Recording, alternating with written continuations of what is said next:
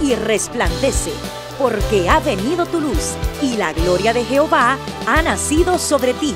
Porque he aquí que tinieblas cubrirán la tierra y oscuridad las naciones, mas sobre ti amanecerá Jehová, y sobre ti será vista su gloria. He aquí, el Señor derrama sobre las naciones su espíritu.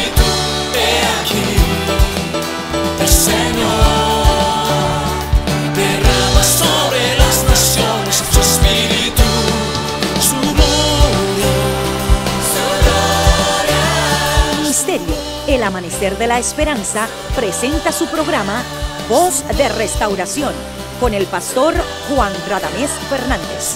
Escucha atentamente la palabra que proviene del mismo corazón del Padre para consolar tu vida.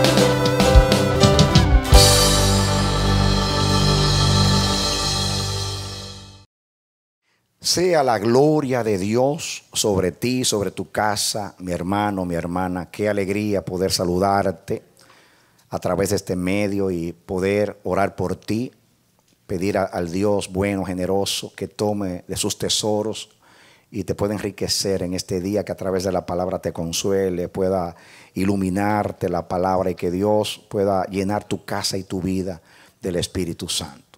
Que Cristo resplandezca en tu vida como nunca. Es mi deseo y el nuestro. Eres bienvenido, bienvenida a nuestra programación Voz de Restauración. Te invitamos a que juntos estudiemos la palabra de Dios. Ven con nosotros. Amén. Vamos a leer en segunda de Corintios, capítulo 11, versículo 1 en adelante. Dice, ojalá me toleraseis un poco de locura. Sí, toleradme. Porque os celo con celo de Dios. Pues os he desposado con un solo esposo para presentaros como una virgen pura a Cristo. Pero temo que como la serpiente con su astucia engañó a Eva, vuestros sentidos sean de alguna manera extraviados de la sincera fidelidad a Cristo.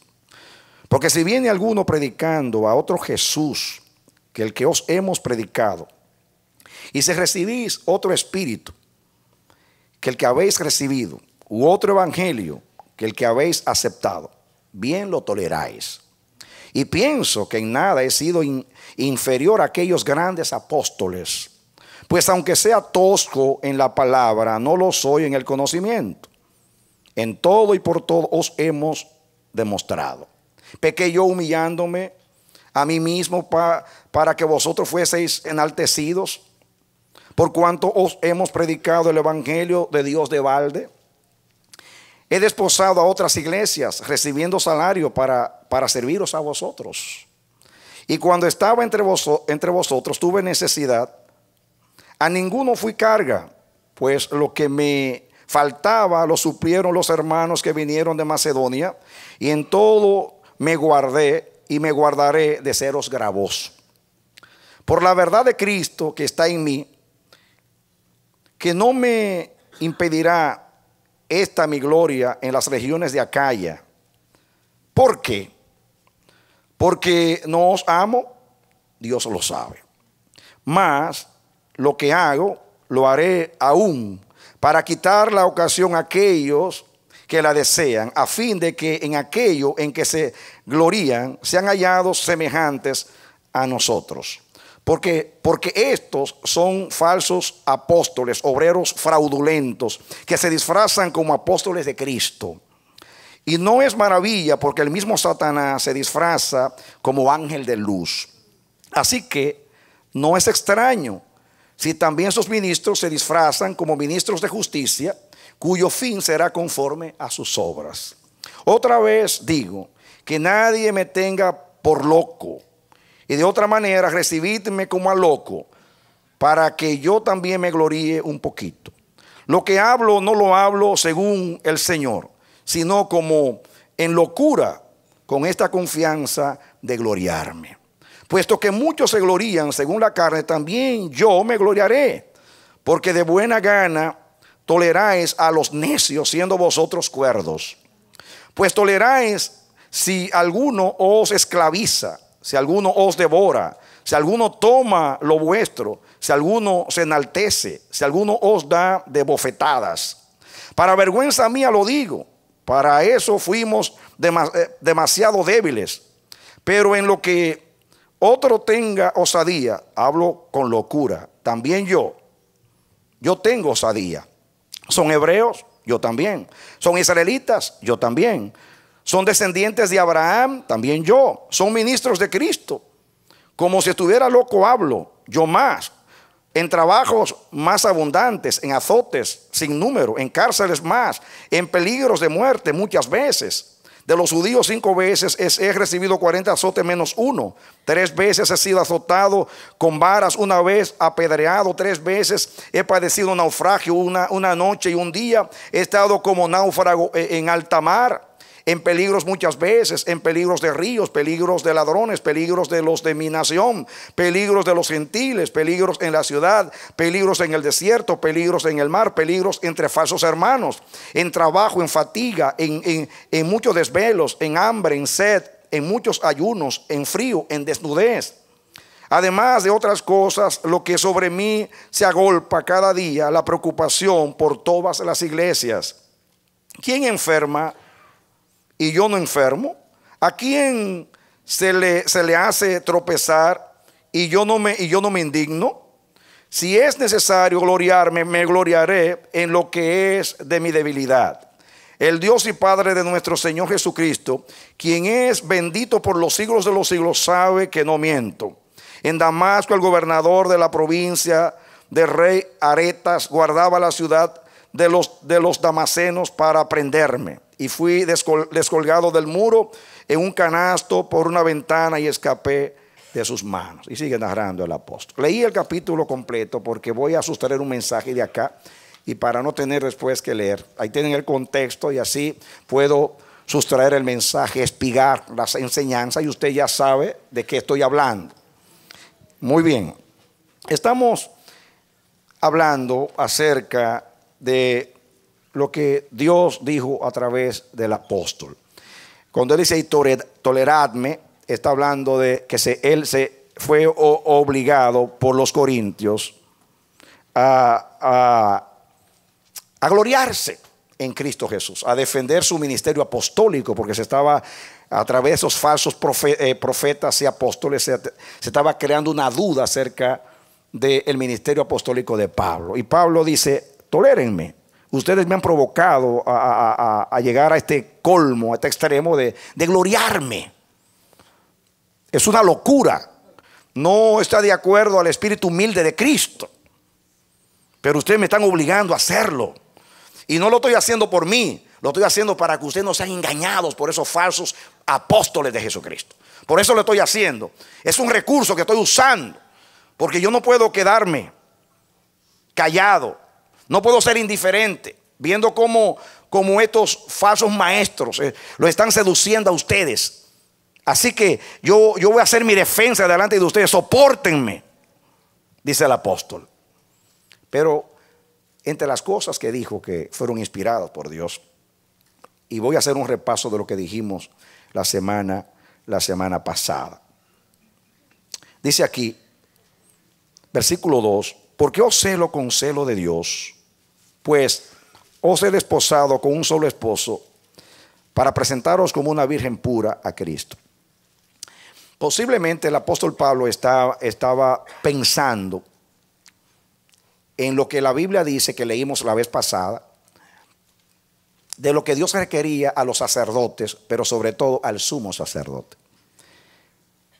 Que Dios ordenó que el sumo sacerdote tenía que casarse con una virgen.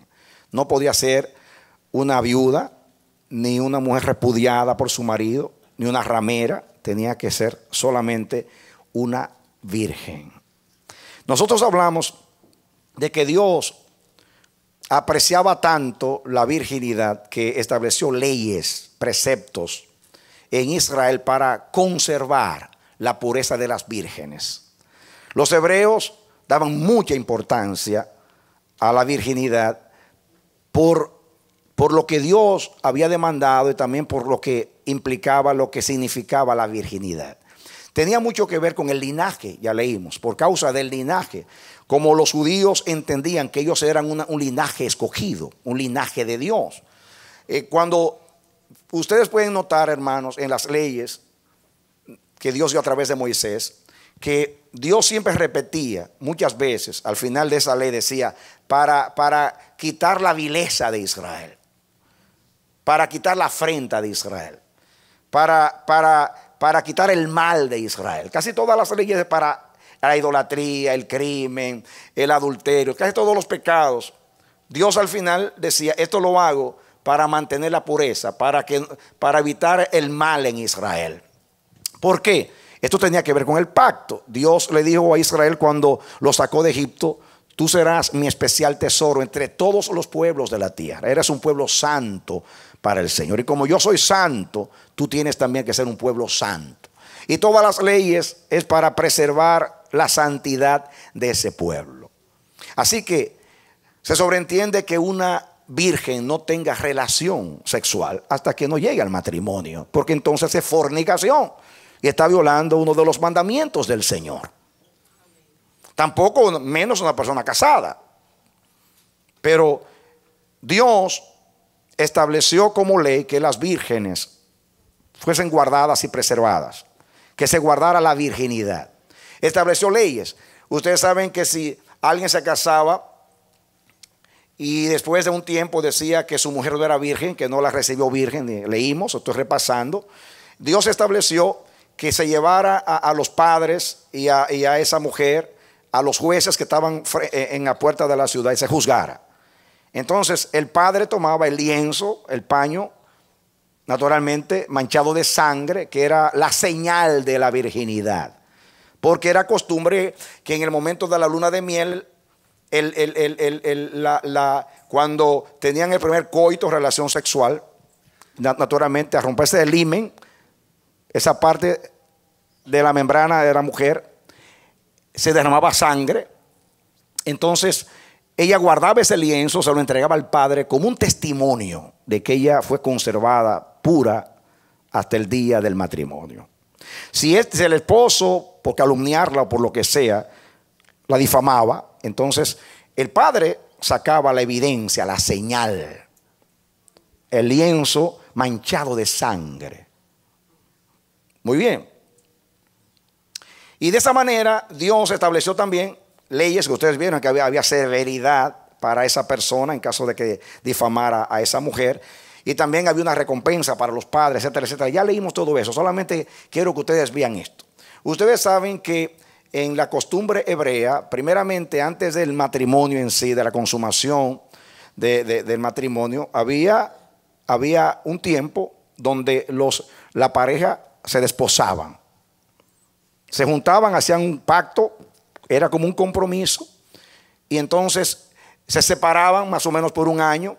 El, el- el- el- novio iba a trabajar, a preparar lugar para luego venir y, y llevarse a, a su mujer. Ya estaba hecho el pacto, pero ese iba. Eso es lo que la Biblia ilustra cuando Jesús dice que fue- se fue a preparar lugar. Las parábolas de Jesús acerca de las vírgenes que el esposo viene.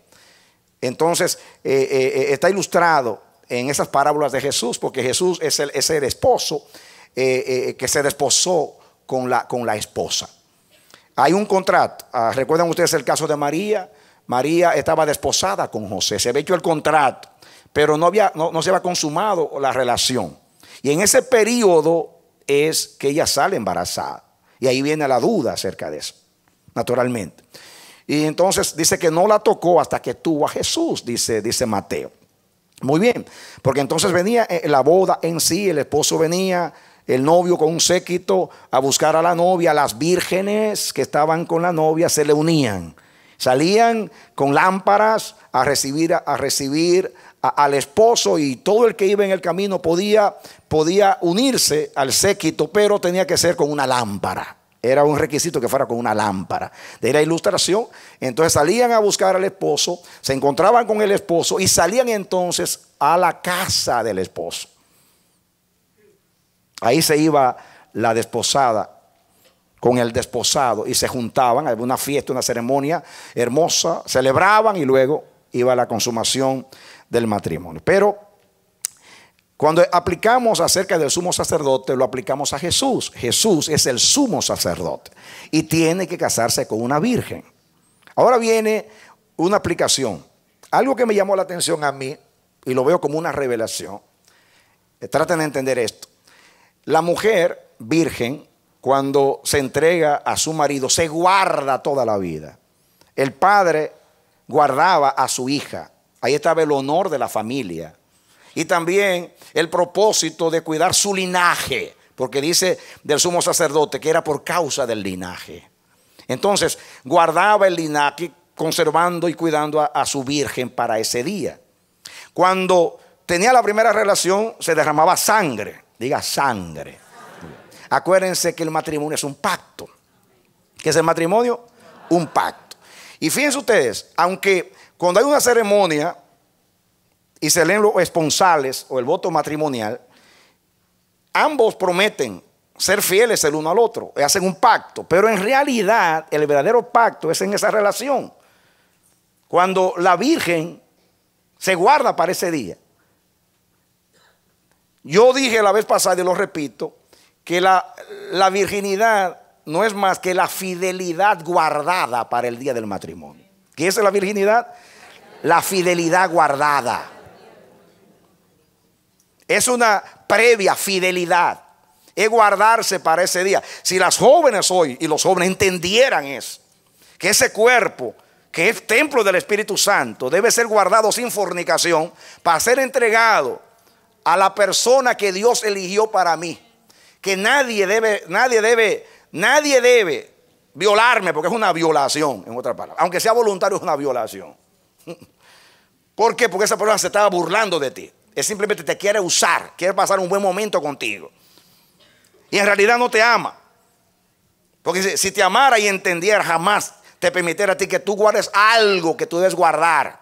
Que tiene que ver con tu honor. Tiene que ver primeramente con el honor de Dios en tu vida y el propósito santo de Dios en tu vida. Como una virgen pura para Cristo. Debe guardarse cada joven y cada, ca- tanto, tanto eh, niña como niño, como joven, jo- hembra y varón, o sea, mujer y hombre, deben ser guardados para ese día. Pero me llama la atención algo, mis hermanos, que cuando, se, cuando, cuando la mujer pierde la virginidad, hay derramamiento de sangre. ¿Qué hay?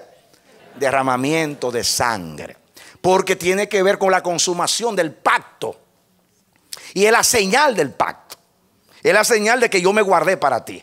No es que me, me voy a guardar desde ahora en adelante. No, no. Así como Cristo fue elegido para nosotros desde antes de la fundación del mundo. Y nosotros también somos iglesia de Cristo desde antes de la fundación del mundo. También Dios eligió un varón para ti y una mujer para ti.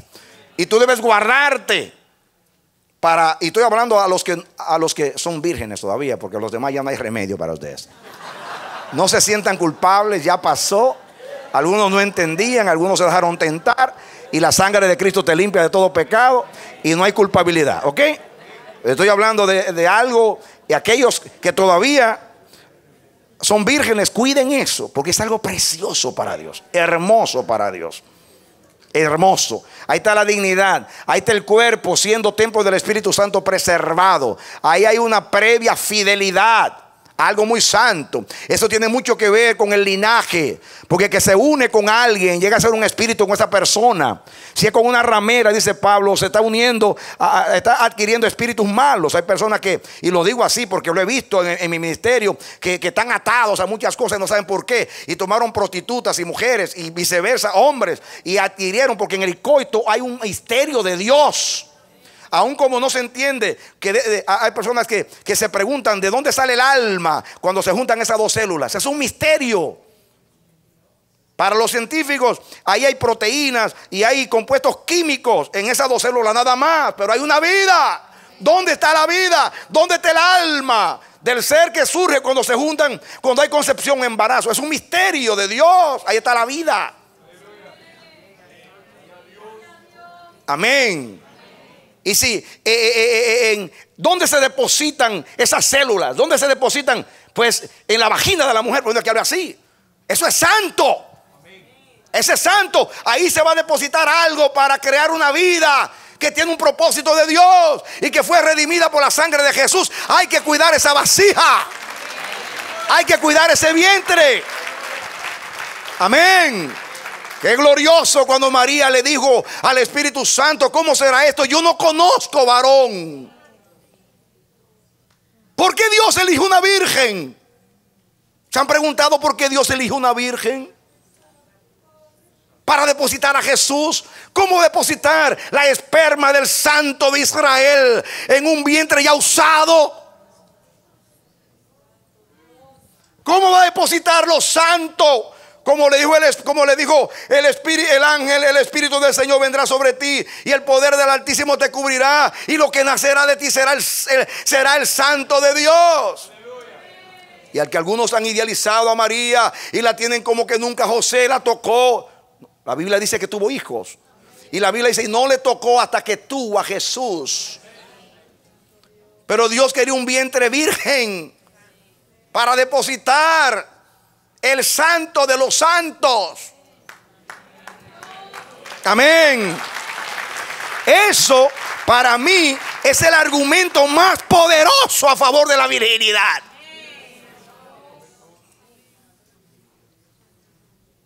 Dios no podía depositar la esperma de Dios divina, donde iba a nacer el santo de Dios, en un vientre violado ya.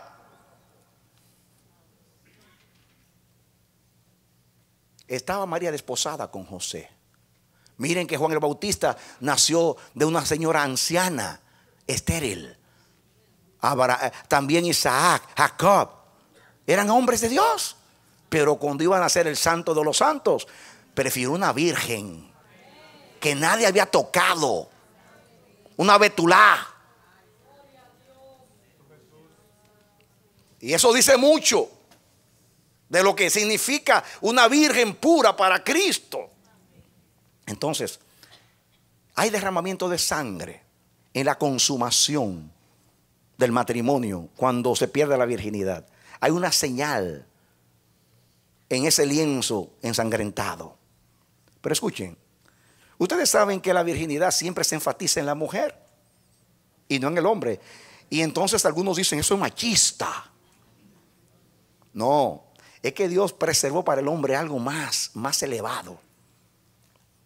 Y es la circuncisión, que es la señal del pacto. Y cuando el hombre pierde la virginidad, a los ocho días, cuando cada niño lo circuncidaban, al octavo día perdía la virginidad. Pero la perdía para Dios. Porque el hombre es gloria de Dios y la mujer gloria del varón. Aleluya. Amén. Amén. Y también hay derramamiento de sangre en la circuncisión cuando el hombre pierde el prepucio. Y es la señal del pacto. En otras palabras, el varón le da la virginidad a Dios, la mujer se la da al varón. Aleluya. Aleluya. Amén. Así lo estableció Dios en las escrituras. Porque dice Pablo que el hombre es gloria de Dios. El hombre salió directamente de Dios y la mujer salió del varón. Por eso dice que el, que el hombre es gloria de Dios, la mujer gloria del varón. La virginidad del hombre es para Dios. La virginidad de la mujer para el varón. En ambos hay derramamiento de sangre. Por eso cuando hablamos de la circuncisión hablamos que nosotros fuimos circuncidados en Cristo. Cristo ahora como el desposado nunca conoció mujer en la tierra, en la parte natural. Pero tampoco se contaminó con, con fornicación espiritual. Fue el cordero sin mancha y sin contaminación. Y él fue circuncidado al octavo día en lo natural, pero también fue circuncidado en la cruz del Calvario cuando derramó su sangre. Por eso Pablo habla, habla de la circuncisión en Cristo Jesús. Fuimos circuncidados en su sangre, en Él, en su muerte. Entonces Jesús, como el sumo sacerdote, el esposo, desposado con la iglesia, también fue virgen. Nació de un viento virgen. En lo natural como hombre vivió 33 años y no tocó mujer. Y también espiritualmente nunca fornicó porque fue perfecto en su relación con Dios. Y derramó sangre en la circuncisión cuando era un niño a los ocho días y derramó su sangre en la circuncisión en la cruz espiritualmente hablando. Así que el esposo es un virgen puro.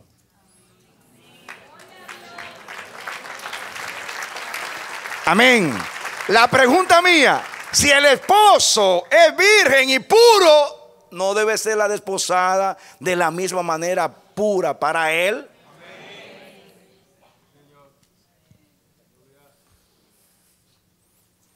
Estamos ahora listos para el tema. Ahora miren ustedes, aplicando la palabra. Versículo 2. Porque os celo con celo de Dios, pues os he desposado con un solo esposo para presentaros como una virgen pura para Cristo.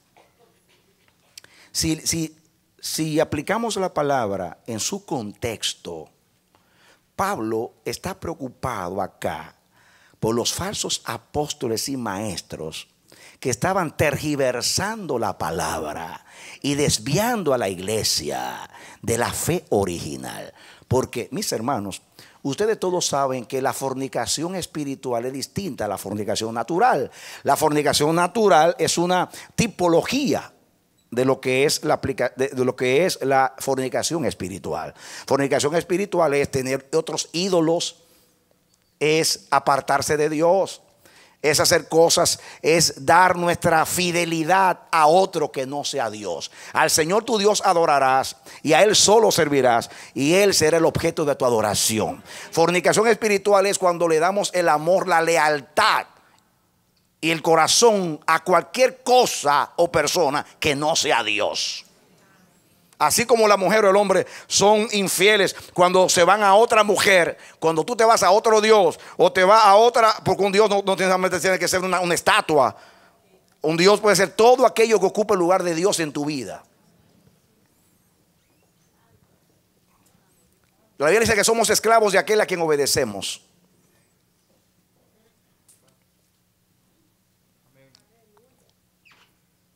Fornicación espiritual es darle lealtad, darle el corazón y la fidelidad, la mente a algo o a alguien que no es Dios. También fornicación espiritual es apartarnos de la fe, como van a ver lo que Pablo dice más adelante. Y, y miren una cosa, hay una palabra ahí que es clave. Dice Pablo, yo celo con celo de Dios. Pablo se está poniendo como el padre, ya dije la semana pasada, como el padre que tiene por responsabilidad cuidar a su virgen para llevarla pura al matrimonio. Pero también podemos usar aquí la ilustración que usa Juan, eh, el Bautista, en el capítulo 3 de, Juan que dice que él es el amigo del esposo. Porque el amigo del esposo tenía también que cuidar y preparar todo a la novia o a la desposada para el día del matrimonio. Entonces, aquí, tanto que se aplique como Pablo, como, como padre espiritual, porque él les dijo a los corintios: Ustedes pueden tener mirallos o instructores, pero solamente tienen un padre. Yo los engendré en Cristo como padre, pero también como amigo del esposo, porque era padre de ellos, pero amigo de Cristo. Y como amigo de Cristo estaba cuidando a su amada, porque como apóstol fue llamado a cuidar a la esposa para Cristo. Ese es el trabajo de nosotros los ministros, cuidarte. Por eso es que tú puedes identificar a un padre espiritual en lo siguiente, el padre espiritual nunca va a estar interesado en otra cosa que no sea llevarte a Dios. Si el padre espiritual te quiere llevar a él, ya quiere manipularte, enseñorearse de ti, usarte, que algunos hasta sexualmente usan a las llamadas hijas o hijos, porque son enfermos. Pero no, necesariamente tiene que ser sexualmente, a veces el dinero. Quieren tu dinero, quieren tu atención, quieren tu admiración, te celan, no quieren que nadie se te acerque, ni quieren que nadie te ministre, solamente ellos te acaparan, te absorben y es un espíritu enfermizo. Apártate de los tales. Porque el verdadero profeta te cela para Dios, para que tú seas puro para Dios. No para ellos, para Dios. Y algo que vamos a aprender aquí es que nosotros tenemos, tenemos que ser entendidos y sabios y no insensatos. Porque hoy, mis hermanos, perdóname, perdónenme, algo que enoja a un verdadero ministro de Dios es ver que a pesar de tanta enseñanza de la palabra, somos tan tontos y nos dejamos engañar y nos dejamos seducir. Pero aquí dice Pablo, yo lo desposé a ustedes con un solo marido. En otras palabras, en otras palabras, así como el matrimonio, así como el matrimonio, tú te casas con un solo marido, o tú te casas con una sola mujer, así debe ser espiritualmente. Te casaste con Cristo, solo Cristo debe ser supremo y absoluto en tu vida. Amén. Yo suelo, cuando caso, a repetir y hacer repetir a los que se casan, a decir yo renuncio a todas las mujeres del mundo para ser para ti mientras, mientras yo viva. Y viceversa la mujer. Algunos se ríen cuando yo digo eso. Pero yo, yo, no he encontrado ese voto en, ningún, en, ningún, libro ni en manual, pero yo lo inventé. Yo digo, pero lo más importante es eso, preservarte, el cuerpo, el todo, pertenece a esa persona con quien tú haces el pacto. Al Señor tu Dios solo adorarás y solo a Él servirás. La, pura, la virginidad se mantiene. Después del matrimonio también, cuando solo soy de Cristo. Acuérdense que en la ilustración, la iglesia todavía no ha entrado en la relación con Cristo. ¿Ustedes creen que ha comenzado la relación? No, no ha comenzado. Están en un noviazgo ahora. Están, están en, un, pre, en un prematrimonio. Están desposados. Hay un contrato firmado con la sangre de Cristo. Hay una elección, hay un llamamiento. Pero todavía no se ha consumado. Se va a consumar el día cuando dice, dice, dice, dice Efesios capítulo 5 que la iglesia va a ser preparada, ataviada como una novia para su marido. ¿Cuándo? Aquel día. Santa, pura, sin mancha, casta, para Cristo. Vestida de lino fino. Por eso el símbolo de blanco, la justicia de Cristo. Pero todavía no se ha consumado la relación. Estamos desposados con Cristo. Cuando Cristo venga, Él fue a la casa del Padre a preparar dónde va a llevar a, dónde va a llevar a su amada. En la casa de mi padre muchas moradas hay. Y fue a preparar. Y dice, eh, viene el esposo, salita a, recibir, a recibirle. Entonces salen las vírgenes con las lámparas a acompañar a la iglesia. Óyeme, las vírgenes no, son la desposada. Siempre estamos aplicando a las vírgenes como la esposa. No, no, no, no, no. Las vírgenes son las que acompañan. Oh, eh, ¿Usted entendió? ¿Usted entendió? Las desposadas no son las vírgenes. Las vírgenes son las que van a acompañar a la desposada, a la desposada de la iglesia. Amén. Y me llama la atención. Con un solo marido te desposé. ¿Cuántos? Uno. El que no dejare padre, madre, hijo, trabajo por seguirme a mí no es digno de mí. Cristo y solo Cristo. Y el verdadero profeta, el verdadero apóstol, es aquel que te lleva a Cristo. Que tu insistente que tú seas fiel a Cristo, que tú seas pura para Cristo. Y el énfasis del reino es Dios, es Cristo. No el instrumento, no, no el Padre. El Padre. ¿Saben, ¿Saben ustedes lo que dice Dios? con relación al matrimonio a los padres. Por tanto, dejará el hombre, dejará, diga conmigo, dejará, dejará al padre y a la madre y se unirá a su mujer. Cuando usted lleva un alma a Cristo, échese a un lado. Ahora es de Cristo. Amén. Amén. En otras palabras, eh, usted como padre cuida a esa persona y como amigo del esposo, usted la lleva al Señor como desposado, como el esposo, pero después usted no la lleva al hotel. Usted eh, eh, pertenece a Cristo. La relación es con Cristo. Usted prepara el camino. Usted cuida, usted guía, usted aconseja, usted insta, usted exhorta. Todo lo que tiene que ver que se mantenga la pureza de esa persona o de esa iglesia para el Señor. Pero la intimidad es solo con el Señor. Solo. te he desposado con un solo esposo. La iglesia tiene un solo marido, Cristo. Y nosotros como amigos, los ministros, como amigos de Cristo, como padres espirituales, tenemos que celar la relación entre Cristo y la iglesia. Tenemos que celarla. Como Pablo dice, no importa que me digan que estoy demente, que estoy loco, que lo estoy celando a ustedes demasiado. He acudido a un recurso que no me representa a mí, porque yo he sido humilde entre ustedes. Pero yo me estoy comportando como un orgulloso y altivo porque ustedes me han provocado, porque ustedes han dado licencia a esos falsos maestros. Ustedes, ustedes, ustedes se han dejado seducir como Eva se dejó seducir por la serpiente y ustedes los complacen y los miman y ellos están así por causa de ustedes. El diablo comenzó en el Génesis siendo una serpiente y en Apocalipsis es un dragón. Significa que lo hemos alimentado mucho.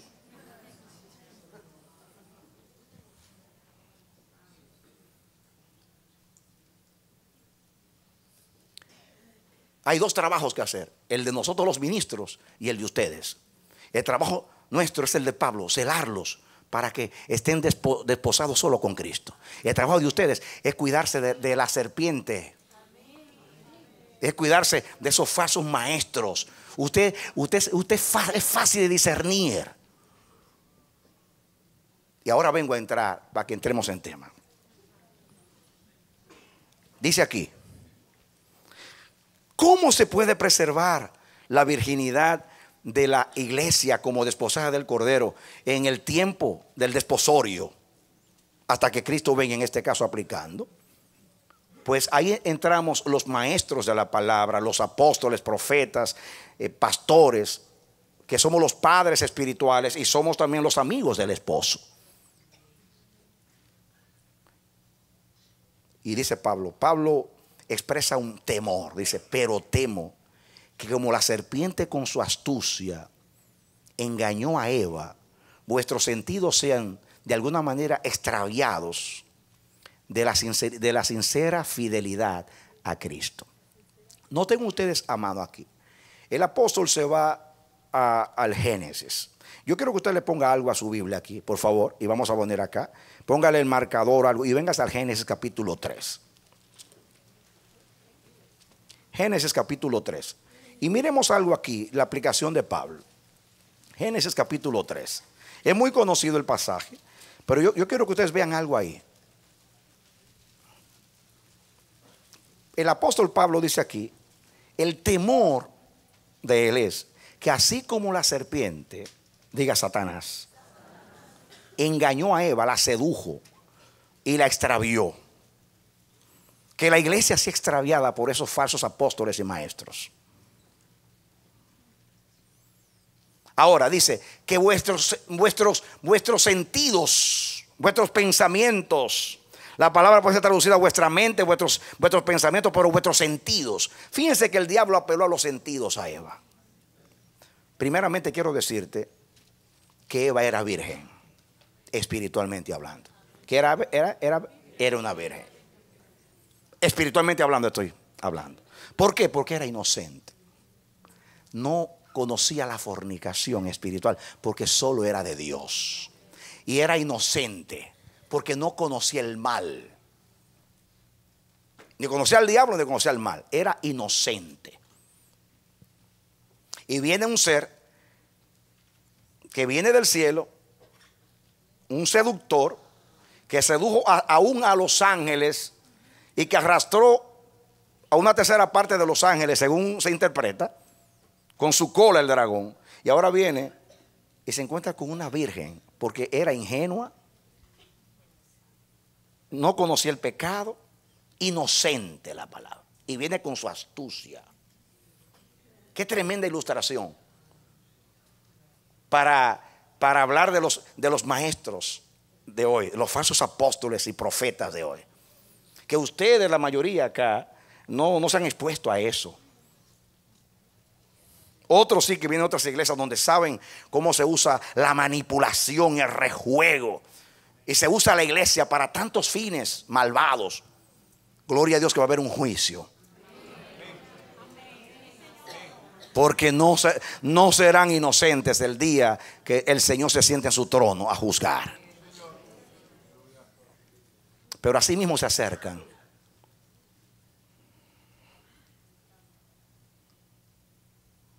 Yo quiero decirte, iglesia, yo quiero que ustedes vean cómo el diablo sedujo a Eva. Dice, pero la serpiente era astuta más que todos los animales del campo que Jehová Dios había hecho. Yo quiero decirte que esta palabra, esta palabra astuta no es, eh, no tiene la connotación, esta palabra, se usan otras en la Biblia, pero esta no tiene la connotación negativa que se usa.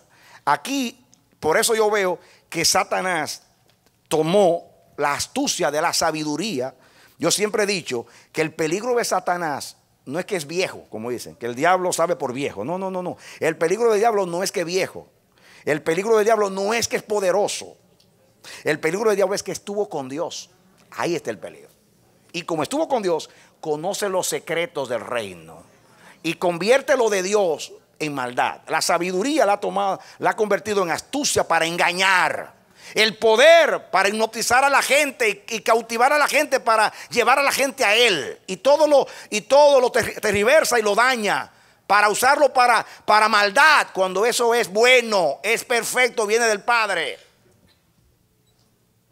Entonces, palabra, usó la, la sabiduría de un arcángel para venir a tratar con una palomita, una ovejita inocente. Ese, eso es lo que yo entiendo. Era demasiado entendimiento para la pobre Eva. Era una virgen. Como, ¿Por qué se seducen? ¿Por qué, por qué es fácil seducir a un niño? Usted le puede decir a un niño, no se junte con, el- con extraños y viene alguien, mire, le, le da un caramelito y, le gana la confianza y juega con el niño.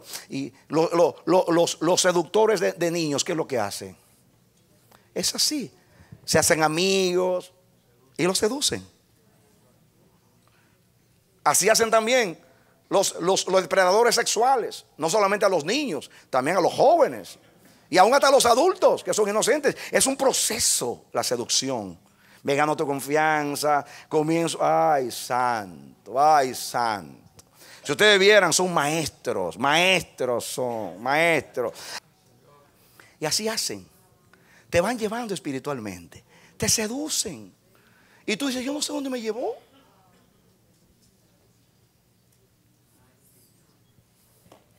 Tranquilo que yo soy tu padre espiritual. Tranquilo que yo soy tu madre espiritual. Tranquilo que... Cuidado. Dice, "Eh, ¿para dónde vas? Eh, ¿Para dónde vas? ¿Para dónde vas? Eh, ¿Para dónde vas? Ahí, ahí es que ustedes tienen que abrir el sentido y decir, ay, ay, ay, ay, ay, ay. Creo que pasaste un límite, mi hermano. Ya conozco para dónde vienes. Oyen. Tenemos el Espíritu del Santo para abrir los ojos.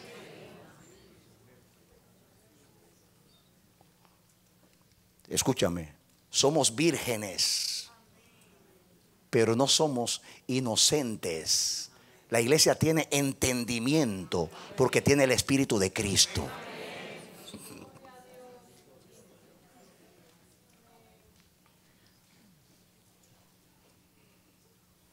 Entonces, miren cómo viene. La serpiente viene, miren, miren cómo entra. Usa su astucia. Se convierte en una serpiente, que parece que la serpiente también era hermosa por lo que se ve. Y el diablo dijo, esta es el animal que más me puede representar a mí para lo que yo quiero hacer. De hecho, Jesús lo usa, que, seamos prudentes como, como la serpiente. La serpiente, la serpiente sabe que los depredadores generalmente son las aves de rapiñas, como, como el ave. Y usted ve una serpiente que va a cruzar, va a cruzar una calle, por ejemplo, usted ve que dura tiempo ahí. Y no se mueve, porque las, las águilas están mirando de arriba, así, los, los, los depredadores están desde arriba. Y cualquier movimiento, ¡fuat! ahí van. Y cuidado con cómo se mueven. Representa en realidad cómo se mueven, con la astucia que se mueven esos falsos maestros. Son astutos. Si verán, yo oigo cosas que yo me asombro. Estaba en un lugar y vi a una hermana y me dice, está ministrando y dice, pastor, eh, ¿qué usted dice de, de- de- de- de- de- de- del asunto del sistema de los salmos? ¿Que me, ¿De qué me hablas? No, yo, yo voy a una iglesia donde dice, aquí Dios, Dios me da el Salmo 110, pon aquí 110 dólares en el sobre.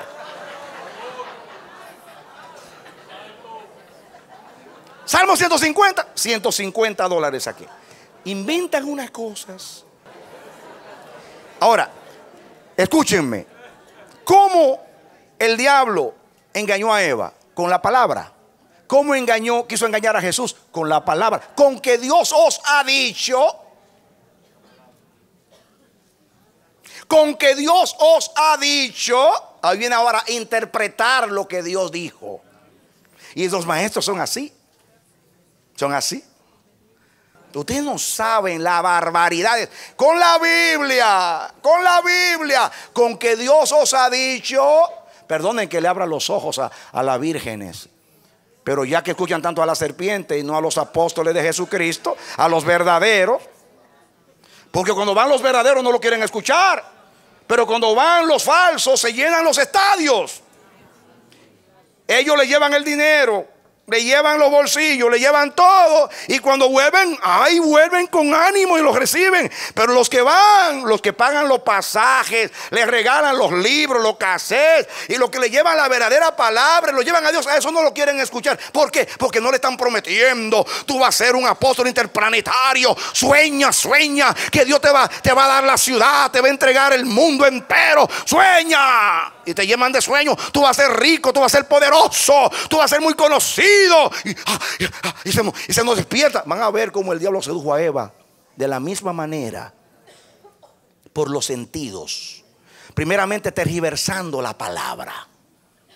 Con que Dios os ha dicho. Ahí viene a interpretar. El intérprete. Satanás.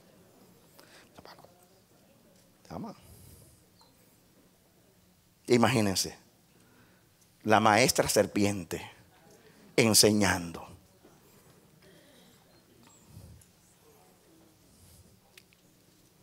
Con que Dios os ha dicho. Fíjense que la palabra es el instrumento. Porque cuando usted tergiversa la palabra y usted pierde el sentido verdadero de la palabra, perdóneme, usted está perdido. Lo que nos da dirección es la verdad. La verdad nos hace libres, la verdad nos restaura y con la verdad volvemos al camino.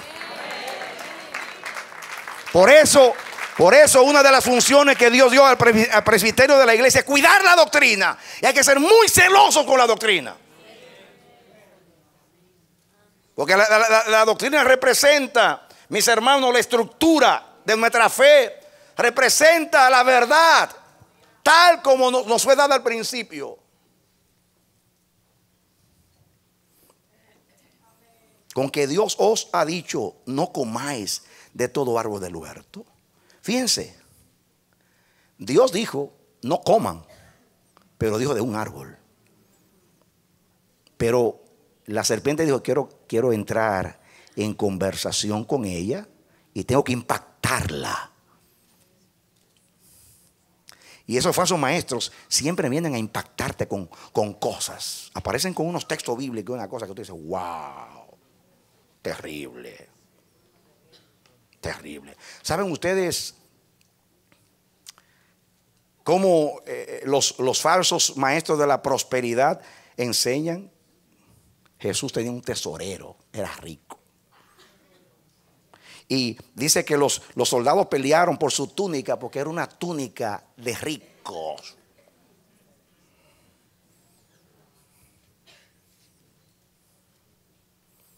Inventan unas cosas que usted dice, Dios mío, ¿y qué es esto?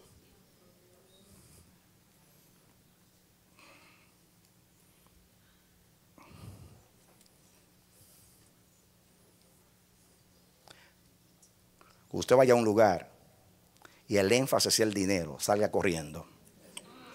Porque de la abundancia del corazón habla la boca. Cuando usted ve a alguien que usa el momento de las ofrendas para estimularlo y sacarle el bolsillo, usted diga, aquí yo no doy nada, cierro aquí. Porque están usando la palabra para seducirme. Y eso no es de Dios. Yo no soy Eva, yo soy la iglesia de Cristo.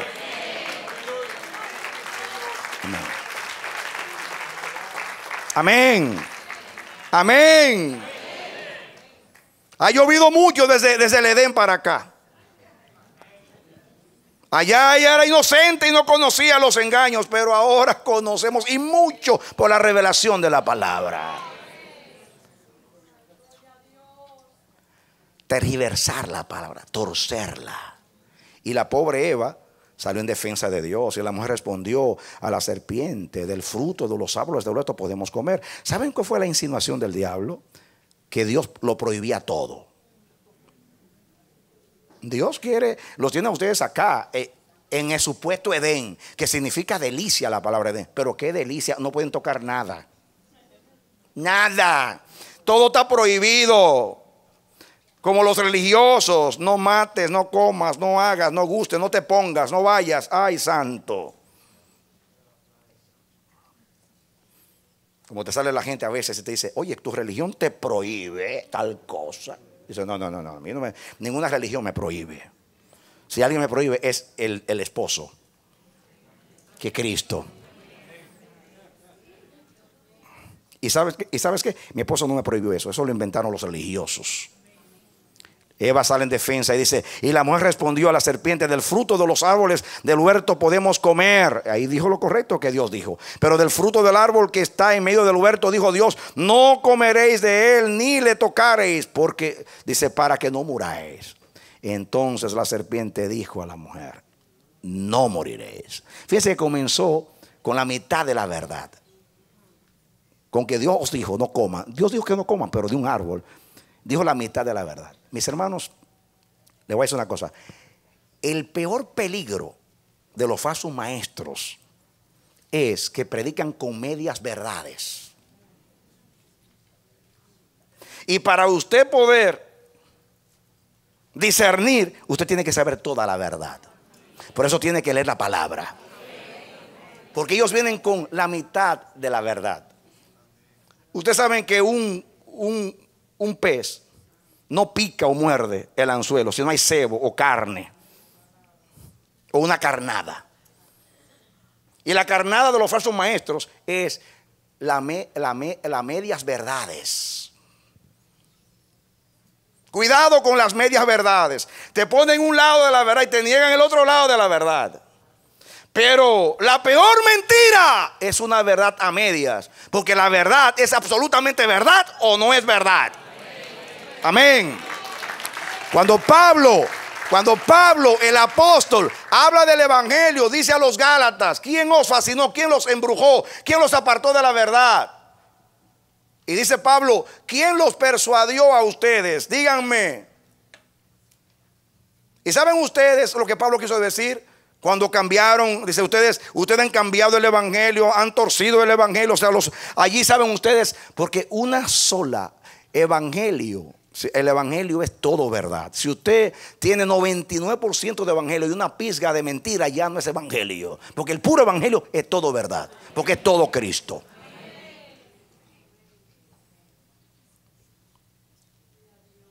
Ya te abrí los ojos. Cuidado con las medias verdades. Pero ahora le tiró una, una gran mentira. No moriréis. Hmm. Uh. No moriréis, sino sabe Dios que el día que comáis de él ser- serán abiertos vuestros ojos y seréis como Dios sabiendo el bien y el mal. Escuchen ahora la seducción aquí para poder ir allá y entender. Porque es como la serpiente engañó a Eva para que ve- vean cómo nos engañan a nosotros. Yo me imagino, y esto es una imaginación, que la serpiente le dijo a Eva, le quiso decir a Eva, ¿sabes qué? ¿Alguna vez tú has visto una serpiente hablar? ¿Has visto un animal, un animal hablar? Creo que el único animal que habla soy yo. ¿Saben- sabe- ¿Tú sabes por qué, Eva? Porque el único que ha comido este árbol soy yo. Porque posiblemente se comió un. Mira, si yo soy un animal, comí y ya estoy hablando. Imagínate tú que fuiste creada a la imagen de Dios, ¿cómo tú vas a ser igual que Dios?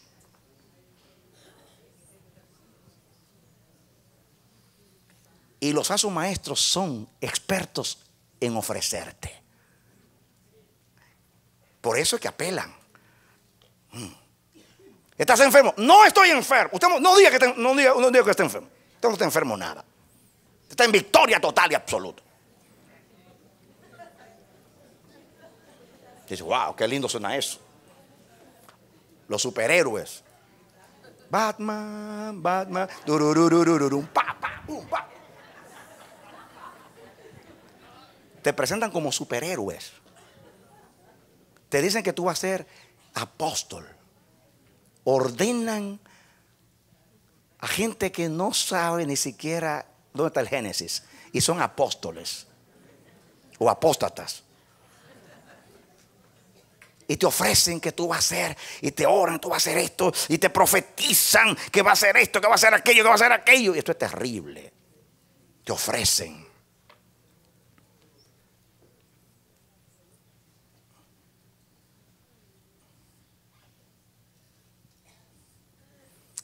Yo escuché una vez en España que estaba viendo la televisión y vi uno de esos grandes maestros dice- hablando de la fe y hablando de la mujer sirofenicia y hablando, hablando de que eh, sueña, sueña, mi hermano, sueña. Es como si Dios fuera su secretario. Sueña.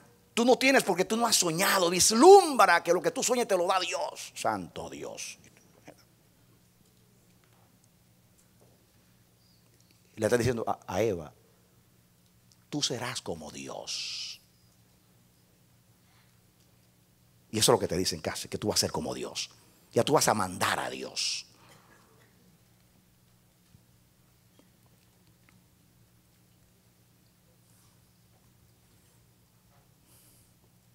Tú serás como Dios. Y la pobre Eva cayó porque te ofrecen villas y castillos. Te ponen a soñar y el sueño se convierte en una pesadilla. Por eso es que seducen, porque te ofrecen, como Sandro, el artista, un mundo de sensaciones, un mundo de emociones, es lo que yo te quiero dar. Tengo, te ofrecen. Perdonen, hermano. Yo me convertí a los 16 años, no bailé ni fui a discoteca, pero escuché tanta, tanto en el barrio las canciones que se me pegaron. Y Dios me lo trae siempre inspirado en el momento para ilustrar. Un mundo de sensaciones, un mundo de emociones. Así los maestros después. Va a ser como Dios, va a ser el apóstol, va a ser esto, va a ser aquello. Todo el mundo, wow. Terrible. Hmm. Hay una bruja que anda por ahí, muy famosa en la iglesia, es una bruja. Fue bruja y sigue siendo bruja. Tiene mucha fama. Y, y ustedes saben, fue a Argentina, a una ciudad argentina, tomó la bandera argentina. Venga, que le ponga la mano aquí a esta bandera, eh, tres mil dólares que le ponga la mano. Va a tener poder sobre Argentina, poder sobre las naciones. Y hasta pastores corrían con los tres mil dólares a tirarlos para agarrar la bandera. Santo Dios. Para agarrarla y ponerla en el avión y mandarla para su país. ¿Dónde está la palabra? ¿Dónde está la palabra? ¿Qué palabra leemos? ¿Acaso tengo yo que ponerle la mano a una bandera o a un objeto, lo que sea, para y dar dinero para ser poderoso cuando el poder está en Cristo y en su sangre?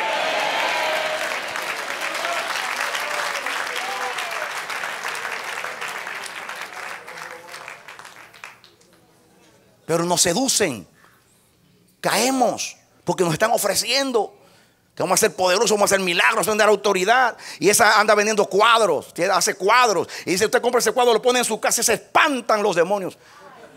Lo que se espanta es el dinero que se lleva para el banco tuyo. Eso es lo que se espanta.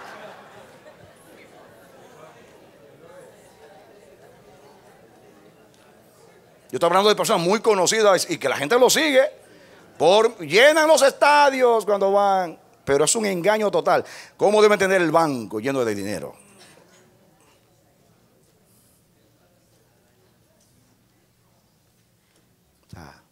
Hay una película que salió décadas atrás que hablaba de la fe, de, los engaños, de un evangelista, cómo engañan a la gente. Yo no la he visto, pero me han hablado de ella. Que eh, él tenía audífonos acá y le decían allá, le preguntaban a la gente, ¿usted por qué vino? Tengo, su- sufro del hígado. ¿Cómo usted se llama? Pedro, Pedro Pérez. Entonces, naturalmente, estaba orando por los enfermos, él decía, yo veo a alguien, alguien que sufre ahí de, riñón izquierdo y se llama, a ver, a ver, a ver, Pedro Pérez. Y el tipo pegaba un grito, ¡ah! ¡Soy yo! Claro, se lo decían de información. Y al final de cuentas, dinero. Y cuando hay hay un, hay un- hay un momento en la película que él orando dice, bromeando, dice, Señor, ¿por qué en la iglesia levantaste tantos imbéciles? Se burlan de nosotros, hermano. Se burlan de nosotros. Y es por eso, somos seducidos. La palabra que Pablo dice, como la serpiente sedujo a Eva. La palabra e- extraviar, se puede sedujo a Eva. Es una seducción, es un proceso con la palabra. Por eso usted tiene que olfatear. Y la primera tergiversación de la palabra. Te me está explicando mal la palabra. Aquí hay algo que me va a llevar a otra, a otra cosa. Porque te van llevando, te van llevando.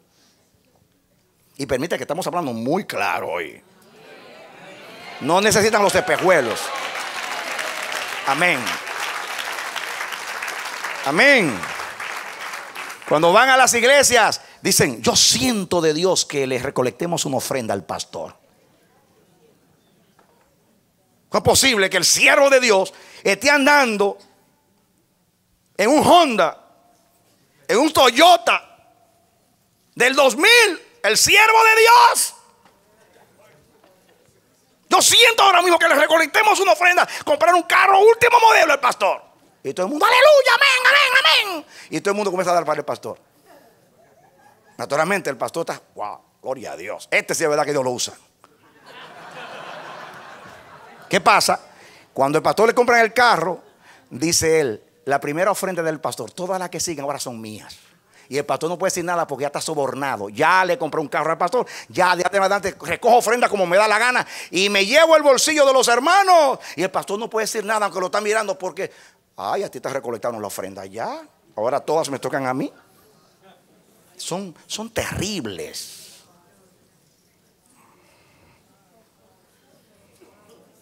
Pero la serpiente le estaba mostrando a Eva, yo sí estoy interesado en ti.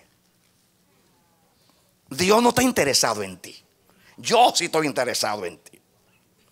Y ellos te muestran como ellos son los que están interesados en ti. En tu vida, en tu bienestar, en tu prosperidad. Pero cada vez que te dan un consejo, son como los psiquiatras. Yo te escucho, pero 150 dólares deposítalo allí. Y, y ojalá fueran 150. Porque el psiquiatra estudió y bueno, esos son los honorarios, pero ellos te llevan el bolsillo entero. Seréis como Dios. Ahora miren lo que apela la serpiente aquí. Miren el efecto que produjo esa seducción. Miren, ¿cuál fue el efecto en Eva? Y escuchen ahora. Dice el 4. Entonces la serpiente dijo a la mujer, no moriréis, sino que sabe Dios que el día que comáis de él se- serán abiertos vuestros ojos y seréis como Dios sabiendo el bien y el mal. Y vio la mujer que el árbol era qué? Bueno para comer. La pregunta mía es bueno si no lo ha probado. Pregunta, ¿cómo sabe Eva que es bueno? ¿Cómo sabe Eva que es bueno para comer el árbol si no lo ha probado todavía? El proceso de usar los sentidos, la imaginación y trabajar en los pensamientos, en la mente, en las emociones, en los sentidos, temo que como a la serpiente con su astucia sedujo y extravió a Eva usando los sentidos, ya Eva está mirando el árbol bueno cuando Dios dijo que era malo.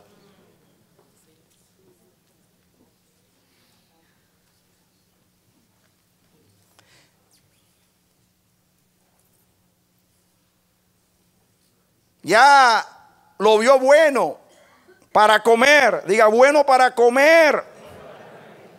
Lo segundo, que era agradable a los ojos. Ahí está, el sentido de la vista entrando. Agradable a los ojos.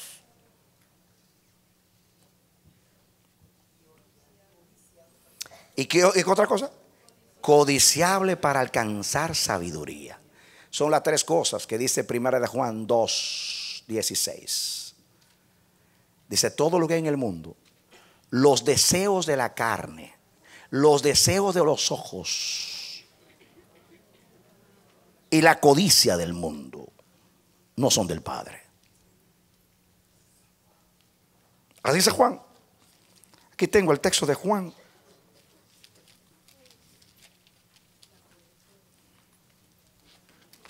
Los deseos de la carne. Y, vio Eva que era bueno para comer. Los deseos de los ojos y era agradable a los ojos. Y la codicia de la vida. Bueno para alcanzar sabiduría. Y ahí cayó Eva. Bueno para las tres cosas. Esa la presentó las tres cosas. ¿Mm? Los deseos de la carne es bueno para comer. Los deseos de los ojos, agradable a la vista. Y dice, y la vanagloria de la vida, dice primera de Juan 2.16, y la vanagloria de la vida, dice que el árbol era codiciable para alcanzar sabiduría.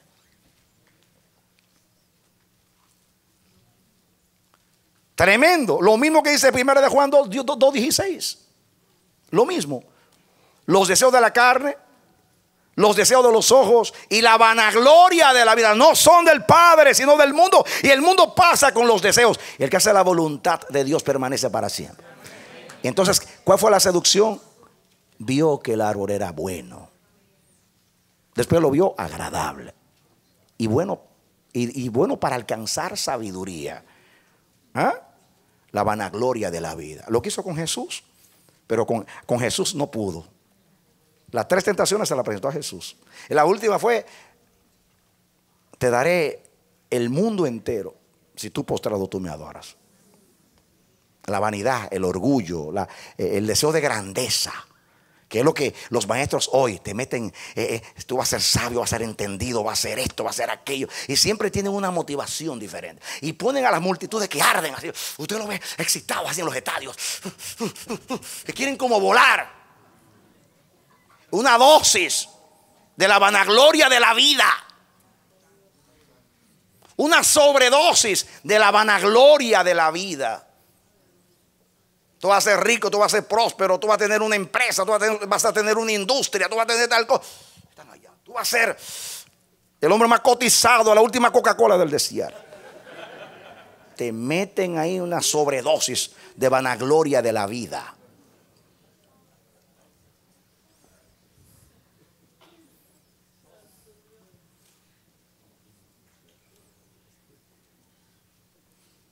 son vampiros.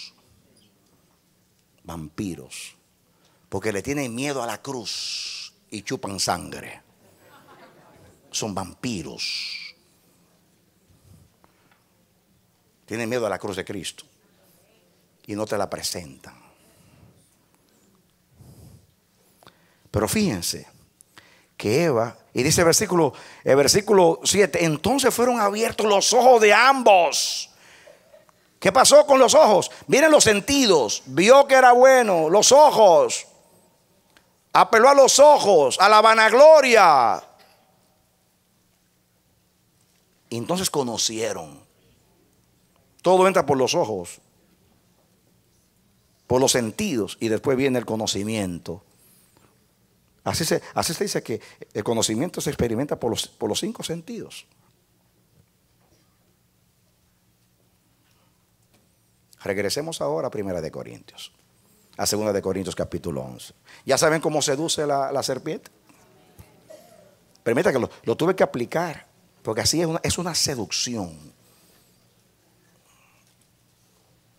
Yo no estoy aquí para hablar de los demás. Ya Pablo habló primero que yo. Sí, porque algunos, algunos son tan buenos son tan buenos que ven, ven a los depredadores que vienen a destruir la iglesia y dicen, ay, no se puede hablar de nadie. Pero ellos pueden destruir a las ovejas. Ustedes no saben. Ustedes no saben la gente que se siente entre nosotros. Y la, y la, y la mente pervertida que tiene. Si vieran las cosas.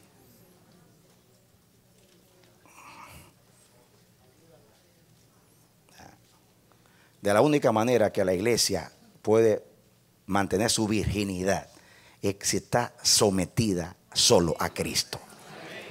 Preservada y guardada por el Espíritu Santo. Y a través de la palabra, que es el instrumento de Dios para corregir, exhortar, consolar, edificar. Pero hay que conocer la palabra. Para poder para saber cuando, cuando viene, estamos falteando. Apártate de los tales, dice la palabra.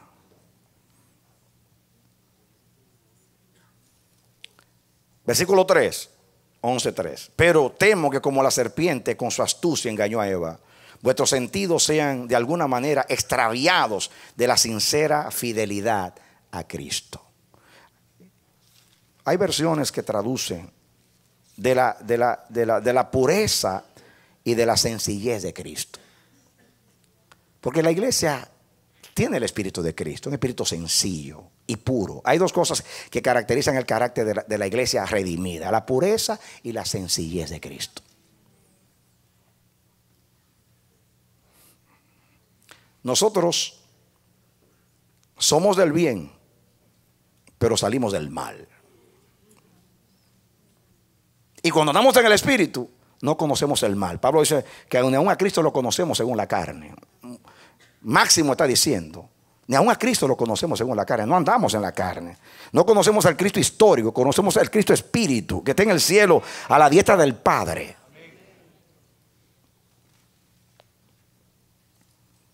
Fíjense, fíjense, la palabra extraviados, seducidos, se puede traducir también.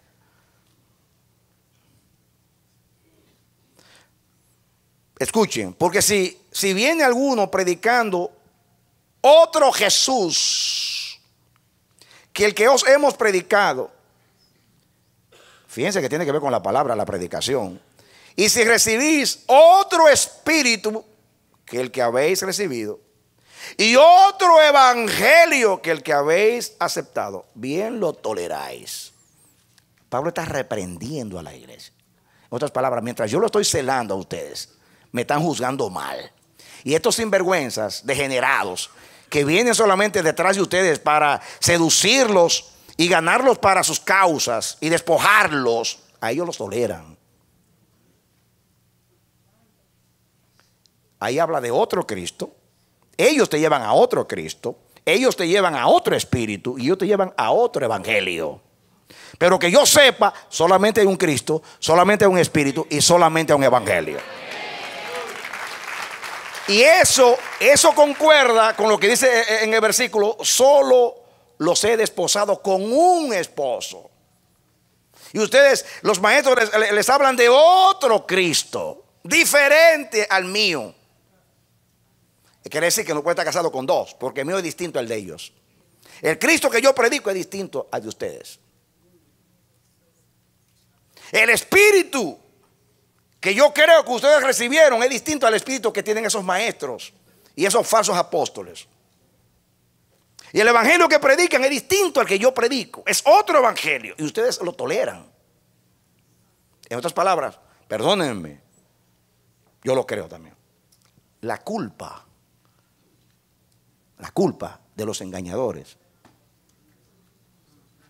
la tenemos nosotros, que nos dejamos engañar.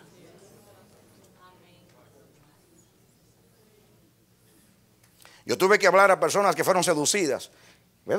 Te veo como una víctima porque, porque te han seducido. Pero al final, pero perdóname, tú no eres inocente. Tú no eres tonta. A ti te llevaron un proceso. En algún momento tú, tú tienes. Y la palabra de Dios, lo que tú has escuchado. Seremos juzgados por la palabra. No queremos hacer los tontos porque nos gusta que nos hablen de eso. Nos gusta que nos, que nos presenten, que nos, que nos ofrezcan todas esas cosas, todas esas vanidades ilusorias. Nos gusta que nos, que nos enciendan el ego. Va a ser el apóstol interplanetario. Va a ser el profeta. Yo te, yo te entrego las naciones. Entonces, eso nos, nos enciende el ego. Por eso amamos a esos maestros. Ven, profetízame, profetízame. Pero viene alguien y te predica el verdadero evangelio, que es toma tu cruz y sígueme. No, no, no, ya soy de cruz. No, no, no. Estoy en victoria total. En condenación total está con este otro evangelio. El evangelio es un banquete y una cruz. El que tome la cruz se lleva el banquete.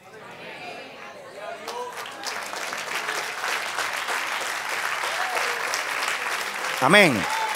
Pero ellos te hablan del banquete y te esconden la cruz. Apártate de los tales. Pero ven ustedes cómo te, cómo te apartan. de Cristo para que tú tengas otro esposo, que en este caso son ellos, y otro espíritu. A veces la gente dice, Dios me dijo, digo, no sé qué Dios, si fue Baal, porque hay otros dioses también. Porque dicen cosas tan extrañas que dicen, Dios mío, ¿cómo Dios se va a atrever a decir una cosa así? La Biblia mía no dice eso.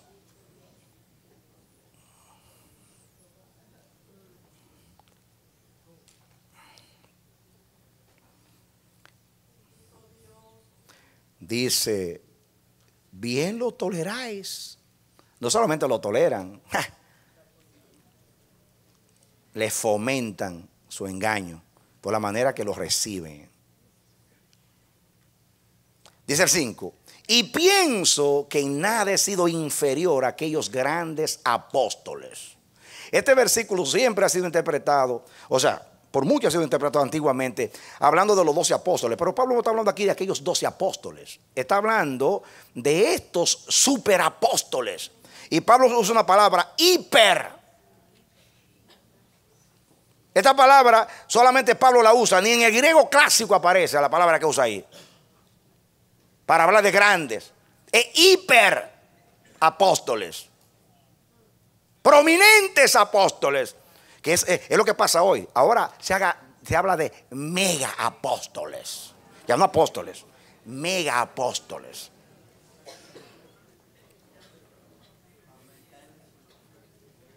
Estaba con mi esposa de vacaciones en un estado, estábamos mirando canales, en un canal cristiano y había un hombre predicando. Y yo quería escucharlo porque había hablado mucho de él y entonces escuchando. Y de momento él, él comienza a hablar, predicó muy bien acerca de, la, nueva, creación, con revelación y de la gracia, muy bien. Y de momento comienza a hablar que ya no él no era un apóstol, porque los hermanos son ángeles y yo soy un arcángel. Y yo le dije a mi esposa, "Oh, este más tarde se va a declarar Dios. Así mismo se declaró Jesús con el 666. Tiempo después. ¿Para qué se comienzan? Comienzan a, subir el ego. Era apóstol, después el gran apóstol. Y después arcángel. Digo, ya, ya- solamente le falta llegar a Dios. Como Satanás. Se- Seréis como Dios. Ya se declaró Jesús. Un hombre que estuvo preso por sobredosis de- en la cárcel. Sobredosis de droga en la cárcel. Divorciado yo no sé cuántas veces. Y la que tenía no era suya porque la mujer después corrió su maleta y se fue. Porque se dio cuenta quién era el engañador y mentiroso. Pero mira la gente cómo daba su vida por él. Cómo lo seguía. Dios mío, es increíble. Y había una persona allí que hasta predicó en nuestra iglesia al principio. Hijo de una hermana de la iglesia donde yo estaba. Tremendo muchacho, precioso, gloria a Dios, que me dijeron que ya salió del engaño. Era, era el segundo después de él. Y yo dije, pero ¿cómo? Y cuando yo lo vi un día declarándolo Dios, lo está presentando, ahora lo voy a presentar a Dios hecho persona aquí en fulano de tal. Yo, ese fulano que yo conozco declarando a un hombre Dios. Fíjense lo que es la seducción. Y este muchacho conoce las escrituras. Es una seducción. Hermanos, hay que abrir los ojos.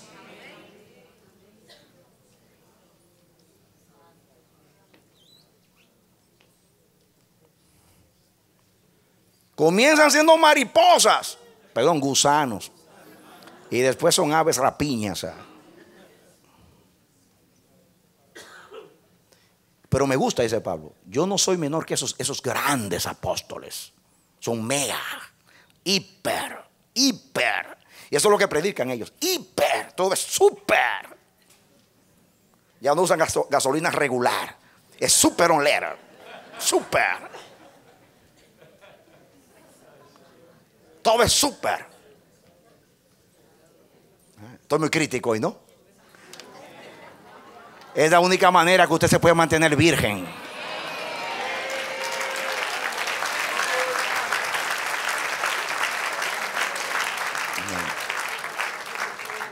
Usted es muy inocente, pero ellos no son inocentes. Ellos saben cómo hacerlo con la palabra y con las medias ver- verdades. Ellos saben a qué apelar. Ellos te abren, te los ojos para que tú veas que bueno, es agradable y yo voy a hacer lo que voy a hacer. Me lo dijo el que es un siervo de Dios. Súper. Los grandes nombres ahora. Todo es grandeza. El espíritu de grandeza lo que se predica. Fíjate, mientras Pablo decía, yo Pablo, siervo de Jesucristo, ellos son mega apóstoles, hiper apóstoles, grandes apóstoles.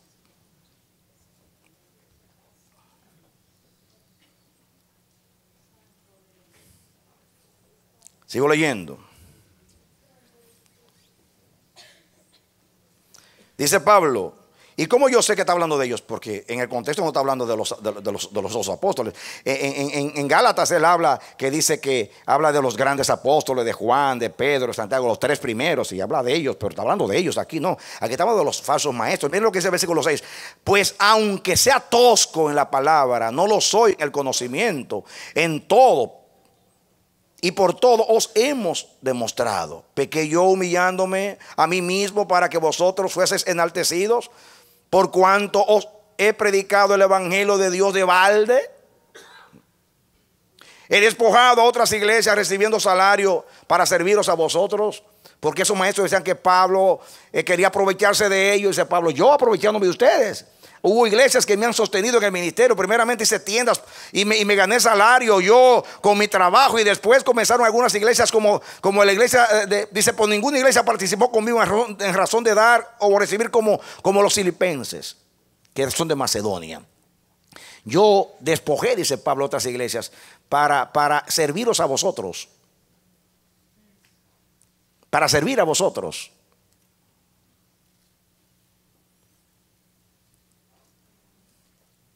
Cuando estaba entre vosotros y tuve necesidad, a ninguno fui carga, pues lo que me faltaba lo suplieron los hermanos que vinieron de Macedonia. En todo me guardé y me guardaré de seros gravoso. Este es un verdadero apóstol. No anda detrás de tu dinero, sino de tu alma para unirla con Cristo. Amén. Y usted, usted lo puede conocer. No es difícil conocerlo mis hermanos, no es difícil conocerlo. Porque el verdadero apóstol de Cristo es abnegado, es entregado. No busca lo suyo. Amén. Yo le, yo le digo a los, a los siervos cuando voy a las naciones que me quieren dar ofrendas se las devuelvo. Y le digo, los padres amontonan para los hijos, no los hijos para los padres. Yo vine aquí a dar, no a recibir. Vine a traer, no a buscar. Y les rehuso la mayoría de las veces las ofrendas. A veces dicen, Dios me dijo, y entonces ya. Y entonces se las reparto a los que andan conmigo.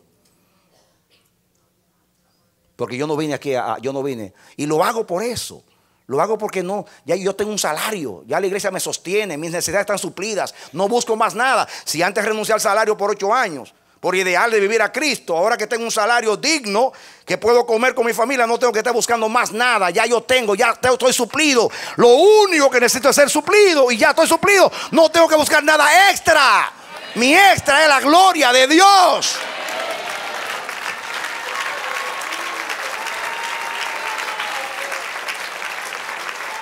Amén. Y los que me escuchan saben que es verdad, que no ando detrás de nada de eso. Está hablando de las naciones, porque saben cómo, cómo me comporto entre ellos, que no ando buscando nada.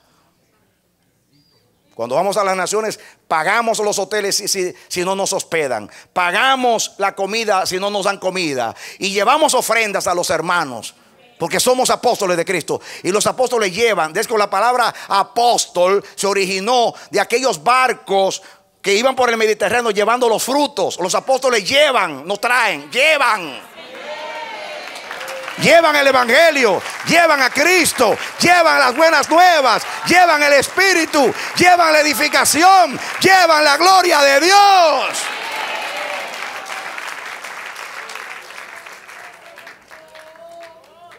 ¿Y cómo no conocían a Pablo? Si saben que nunca ni siquiera una ofrenda les recibió. Sin embargo, estos, estos, según Pablo dice ahí más adelante, estaban viviendo de ellos y lo despojaban. Sin embargo, a, e- a ellos los toleraban y a Pablo no. Hasta tenía que llegar a algo que no quiso llegar a, a defender con evidencias que era apóstol de Jesucristo. Qué triste que los que tienen honra, como Pablo, tienen que andar cabizbajos, como avergonzados, y los sinvergüenzas andan por ahí. en aviones privados, en barcos privados, despojando a la iglesia y con mucha honra, entre comillas, el día que se encuentre con Cristo. Es la pregunta mía. Piensan que no va a haber un juicio. Ay, ay, ay, ay. Ay de aquel que no crea que va a haber un juicio. Dios traerá a, a juicio toda obra, sea buena o mala. Dice mi Biblia.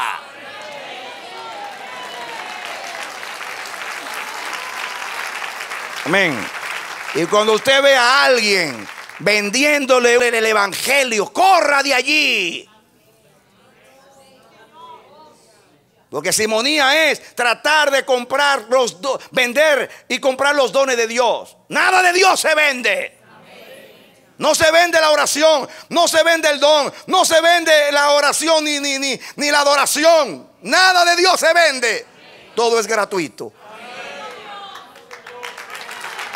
Amén. Hay una manera, una manera que Dios ha establecido para que la iglesia se sostenga. Los diezmos y las ofrendas. Y habrá alimento en mi casa, dice el Señor.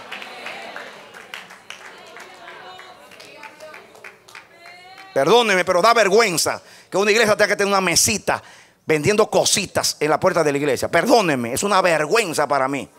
Yo te tengo que vender un cassette o algo para, para que tú le des 10 dólares al Señor. Es una miseria. Si yo te tengo que usar la Biblia para persuadirte y, llenarte de promesas de cuantas cosas para, para seducirte, para que tú le des al Señor, tengo que traficar con la palabra, torcer la palabra y usarla mal para que tú le des al Señor. Estoy equivocado yo y tú también. Yo vengo, vengo de una iglesia donde se hace énfasis en la mayordomía. Y tenían a todos los niveles personas que incentivaban para que la gente dé más. Y en la iglesia local había alguien nombrado cada año para incentivar las ofrendas. Yo nunca le permití predicar a ese.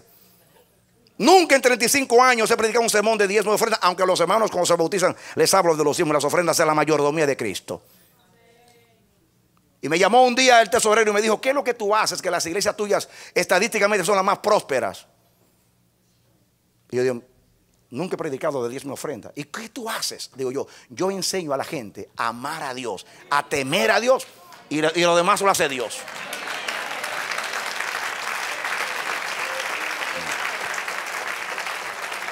Amén. Si la palabra no hace efecto en ti, no la voy a hacer yo. Si Dios con el espíritu de la palabra no logra persuadirte a entregarte a Dios, cuerpo, alma, espíritu, tiempo, talento, energía, dinero, entonces van a la palabra y la predicación. No hay que acudir a lo indigno para predicar lo digno. El evangelio es gratis. A ti no te costó nada. Pero a Cristo le tocó la compañía del Padre. Abandonar el cielo. Despojarse de su gloria. Y sufrir la vergüenza en la cruz. Para que tú seas ahora rico en Dios. Hay que abrir los ojos, mis hermanos. Hay que identificar a los falsos apóstoles, a los megas apóstoles.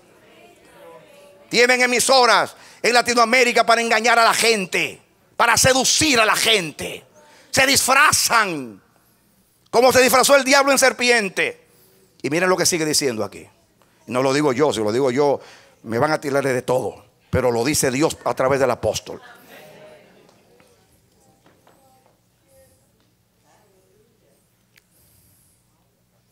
Dice el apóstol aquí. El 12. Más lo que hago, lo haré aún para quitar la ocasión a aquellos que la desean, a fin de que en aquello en que se glorían sean hallados semejantes a nosotros. Porque estos son falsos apóstoles. ¿Cómo les llama Pablo? Ah, está más fuerte que yo, Pablo. Yo solamente, yo, yo no conocía aquellos de, de- de los días de Pablo, pero conozco los de hoy. Yo los conozco, por eso estoy hablando así. Porque estos son falsos apóstoles, obreros fraudulentos. Usan el fraude para engañar, como la serpiente a Eva, que se disfrazan como apóstoles de Cristo. Dice, ¿qué, qué, qué, qué? Se disfrazan. Porque el diablo es un experto. ¿Quién fue que inventó el carnaval de Río y del mundo entero? Satanás. Es un experto disfrazándose. Un arcángel convertido en serpiente. Pero ahora es una serpiente convertida en arcángel. Santo Jehová. A Eva fue un arcángel convertido en serpiente. Hoy es una serpiente convertida en arcángel. Porque dice que se disfraza hasta de ángel de luz. Vamos a ver más adelante. Porque estos son el 13. Falsos apóstoles, obreros fraudulentos que se disfrazan como apóstoles de Cristo. Y no, dice, no es maravilla porque el mismo Satanás se disfraza como ángel de luz. ¿Están o no están disfrazados? No lo digo yo, lo dice la santa palabra. Y no es maravilla que, el mismo Satanás se disfraza como ángel de luz. Así que no es extraño si también sus ministros se disfrazan como ministros de justicia, cuyo fin será conforme a sus obras.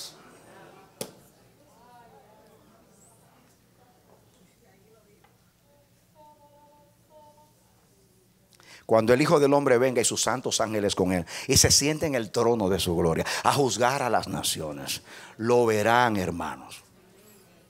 Como dijo alguien, lo verán con la corbatita quemándose en el infierno. Dice que eso, eso, es corbata, a ver. Y con los cuellos clericales así. Y con los mantos obispales. O cardinalicios, qué sé yo qué. Porque con el disfraz, estoy hablando, el manto del disfraz. No estoy hablando tanto de lo externo, estoy hablando, usando la representación de lo externo para hablar de lo que ellos dicen que representan. Perdónenme, pero Pablo decía, oh celo con celo de Dios. Y Pablo lo celaba. Es un fanático ese Pablo. Criticón. El Cristo es amor. Hay amores que matan. El de Cristo da vida. Amén. ¿Saben por qué da vida? ¿Saben por qué da vida? Porque es verdad y misericordia. Es callado. Vara y callado. Y el apóstol Pablo ahí habla de todo lo que él sufrió como apóstol de Cristo para mostrar que Él es un apóstol de Cristo. Para mostrar, qué, qué triste. Pablo dice, perdónenme la locura, me he hecho un necio en gloriarme. Ustedes me han provocado. ¿Cómo es posible que yo tengo que llegar al colmo aquí, a llegar a esto? Es posible que yo tenga que llegar a esto.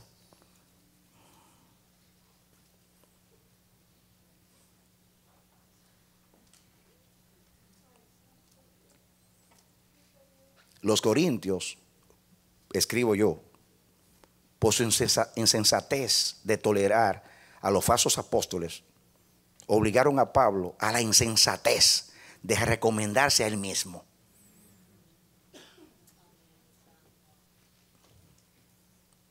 Pero si logró sacudirlos, valió la pena.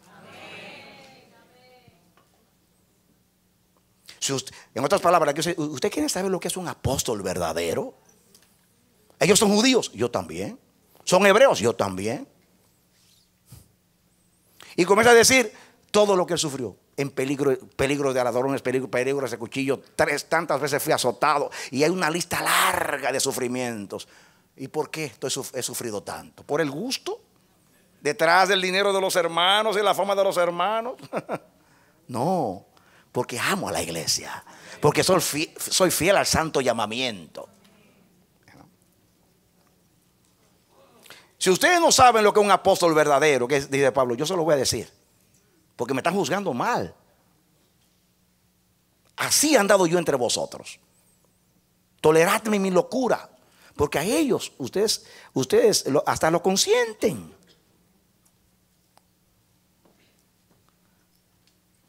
Miren lo que dice el versículo, el versículo 20 aquí.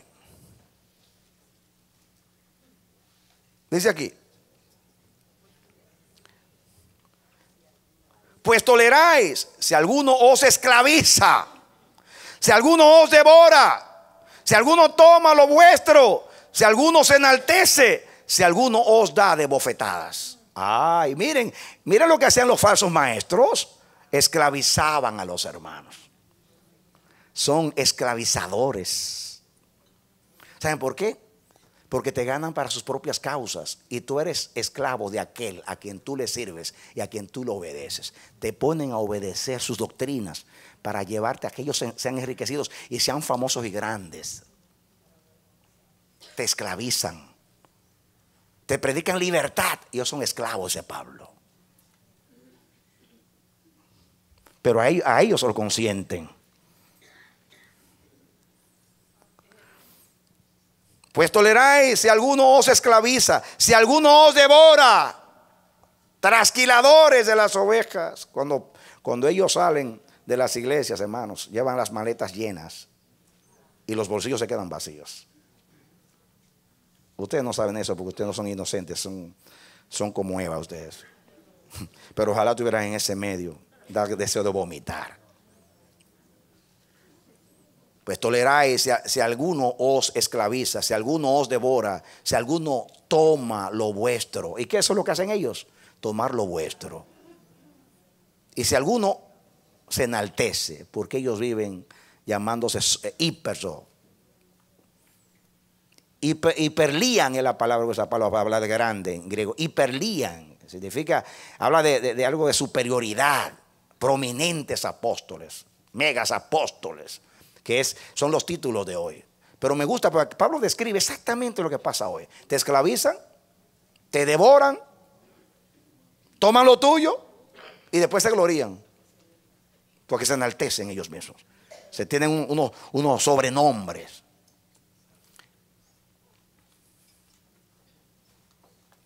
Hay apóstoles verdaderos hoy y hay profetas verdaderos hoy. Y el que tiene el Espíritu de Dios lo puede identificar. Porque es- esos hombres son humildes, esos hombres siguen a Cristo, esos hombres no buscan lo suyo, buscan lo que es de Cristo. No, no están exaltándose ellos mismos, exaltan al Señor, llevan a la gente a Dios en espíritu y verdad.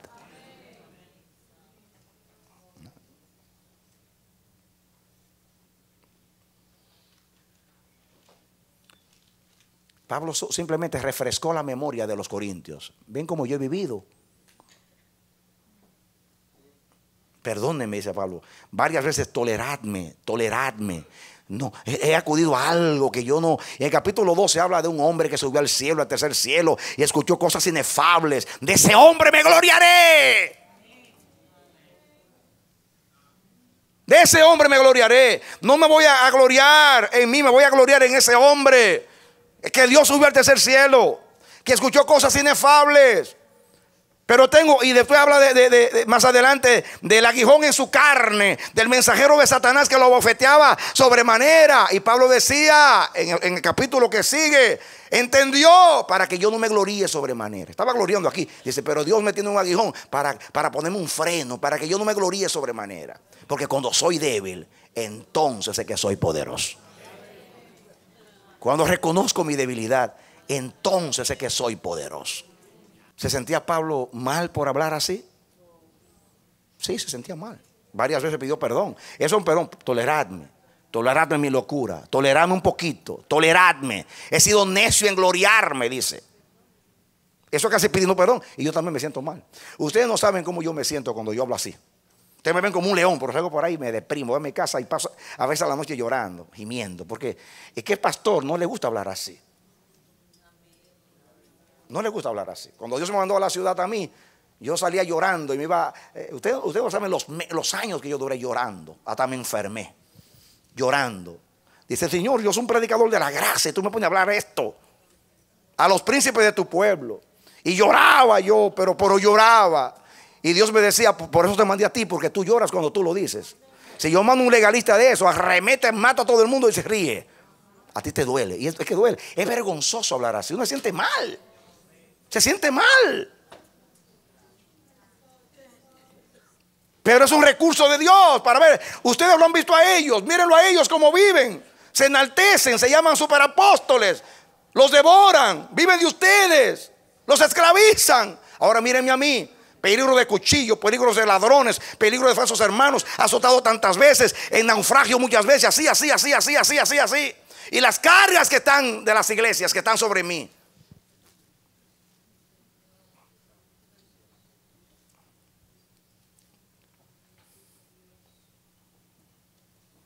Despiértate, tú que duermes. Y dale gracias a Dios. Dale gracias a Dios. Tu corazón.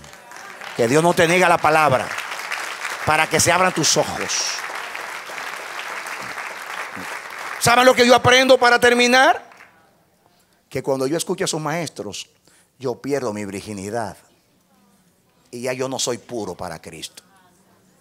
Porque eso es el contexto.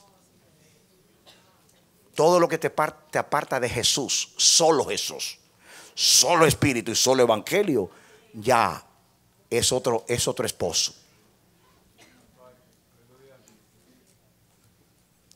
Ellos te llevan a la fornicación con ellos. Guarda esta palabra. Y cuando tú estés navegando por el internet, cuidado que no te ahogues. Porque hay muchas cosas que se ven que parecen y no son. Ellos te ponen como, como a Eva, las cosas agradables. Te ponen como, como la carnada a las aves y a, los animales, a los cazadores y a, y- y a los pescados, la, eh, eh, la carnada. Ellos te ponen algo agradable. Tú ves, wow, qué lindo, ah, qué linda palabra, hay tal cosa, linda palabra. Miras a dónde te llevan. Abra los ojos, iglesia.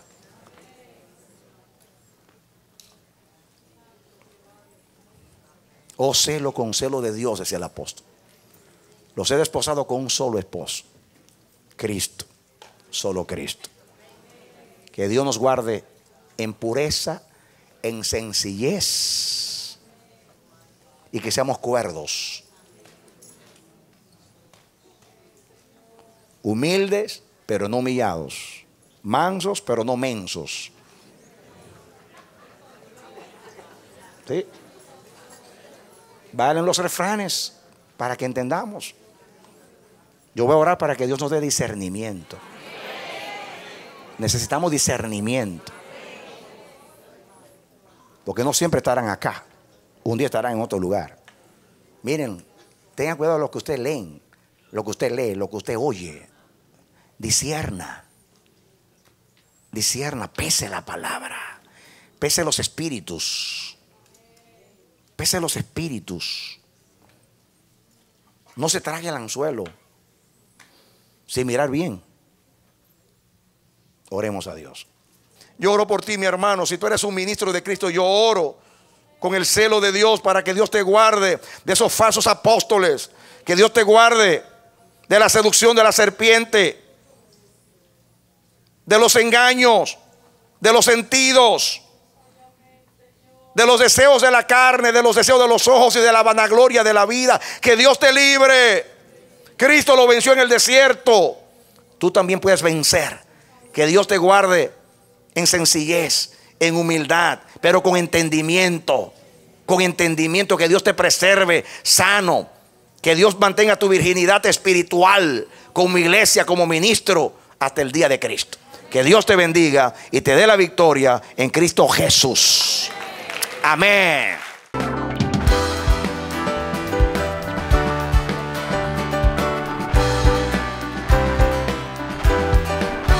Este ha sido su programa Voz de Restauración. Si desea comunicarse con nosotros, escríbanos al PO Box 70, Bronx, New York 10473 o visita nuestra página web www.elamanecer.org. Nos despedimos hasta la próxima. Que Dios te bendiga.